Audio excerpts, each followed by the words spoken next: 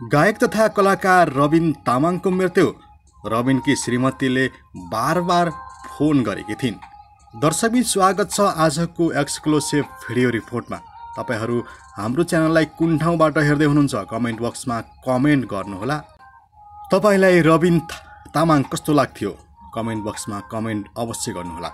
गायक एवं कलाकार रविन तामाङको निधन भएको छ। काठमाडौँको बुढा नीलकण्ठ स्थित घरमै उनको निधन भएको हो।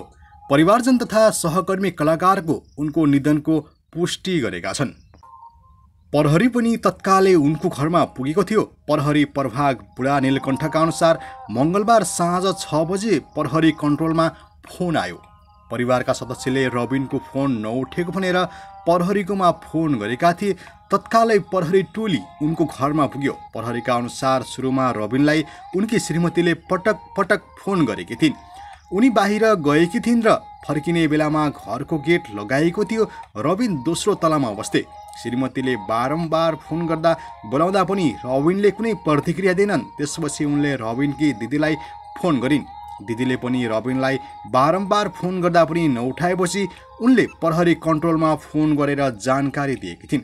प्रहरी घरमा पुग्दा घरको गेट बाहिरबाट बन्द थियो। उनको घरबाट फर्याङ लगाएर झ्यालबाट हेरे। खाटमा छेउमा घोप्टो परेर सुतेको अवस्थामा देखेका रबिन ढोका फोलेर भित्र पस्दा उनी मृत्यु भइसकेको थियो। प्रहरीका अनुसार घटनास्थलमा शङ्कास्मक केही पनि छैन। खाट र कोठा सबै सभा नै थियो। मुख मुख्य गेट माथिको ढोका बन्द थियो। पोस्टमार्टमका लागि सब टिचिङ अस्पताल लगिएको छ। मृत्युको कारणबारे पोस्टमार्टमबाट खुल्ने प्रहरीले जानकारी दिएको छ। रबिन उम्दा गायक साथै कलाकार पनि हुन्। उनी पछिल्लो समय फिल्म छड्की दुईमा देखिएका थिए। छड्की बाहेक उनले मुख्यौटा जय परशुराम चिसो एस्ट्रोलोजी जस्ता फिल्ममा पनि अभिनय गरेका छन्। उनलाई चिसो चिसो हावा जति मायालाई पनि भुलमा भुली लगायत गीत चर्चित छन्।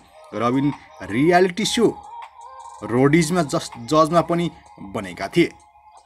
दर्शकबिन तपाईँलाई के लाग्छ? रविन तामाङको मृत्युलाई पक्कै पनि तपाईँलाई पनि छेद विच्छेद बनाएको छ होला। कस्तो लाग्छ रविन तामाङ? कमेन्ट बक्समा पक्कै पनि कमेन्ट गर्नुहोला।